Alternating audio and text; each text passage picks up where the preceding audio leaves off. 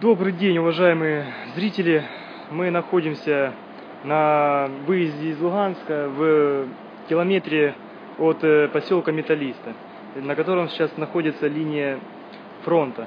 Мы находимся на одном из главных э, укреплений ополченцев Луганской Народной Республики. В самом Металлисте сейчас что там? Э, население, э, много ли там осталось людей? Ник- Никто не знает, сколько там осталось, но люди идут ажиотажем, перепуганные. Ну, отступать не намерены, да? Отступать Как вы считаете, действительно угрозы, которые звучат сейчас в Киеве, что если, дескать, через неделю не сложите оружие в течение недели, то всех уничтожим? Ну, Они всех не Это они уничтожат, у- преувеличивают или это они действительно не располагают силами?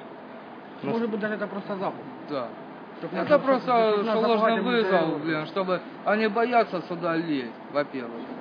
У нас хватает усилий на их, чтобы их и туда угнать от наших земли. Если они, блин, пришли с мечом, то от меча умрут.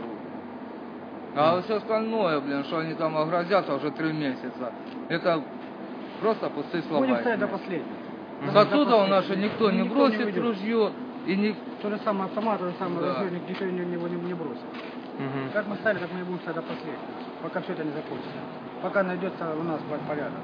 Ну, план уже, скажем так, в случае из того, если они не уйдут, э, есть уже, Будет да? зачистка. Как, будет э, Будет Вот зачистка зачистка именно их. их. мгм. Именно их. А до Киева дойдем, а того Порошенко раком поставим. понятно.